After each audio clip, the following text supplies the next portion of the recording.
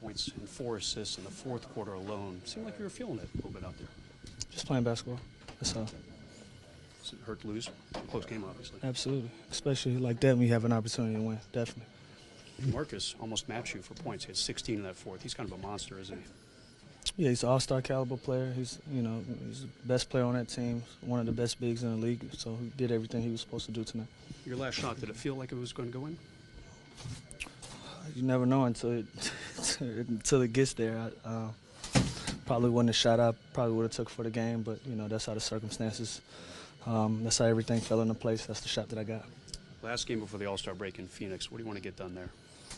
Uh, I definitely want to get a win, especially with a week off. You know, a lot of times you, if you lose a basketball game, you want to have um, an opportunity to redeem it in the next day or so. Uh, this last game, we don't have that opportunity. We're gonna have to sit on that for a week. So um, it'd be great to go down there and get a win going into the break.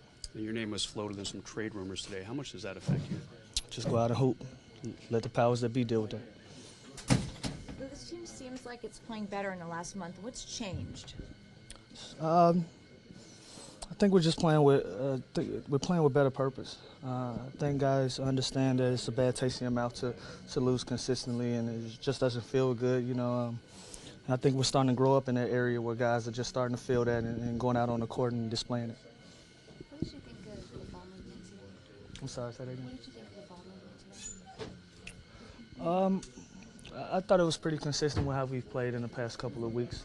Um, I think we had a little rust from, from having four or five days off. Um, had some turnovers, some turnover issues there early in the game. We were able to turn it on late, but I think overall the ball movement was okay. 25 games left in the regular season. What can this team accomplish down the stretch? Uh, I just would like us to see play. I would just like to see us play consistent basketball. Um, you know, uh, play well enough where the fans understand that we're, you know, we're still a work in progress, and, and they stay on our side and just understand that we're out there working. What will you do during the break? Uh, I'm going on vacation, so. Is there some appeal in the idea of being traded to a team that's contending and being in the I the just play, man. I just I just play. Um, I'm a little old school with my approach. I play for the team that I have the jersey on for. I don't really deal with hypotheticals. Uh, so if something happens, it happens. If it don't, it don't. I'm gonna compete for the Lakers as, as of now.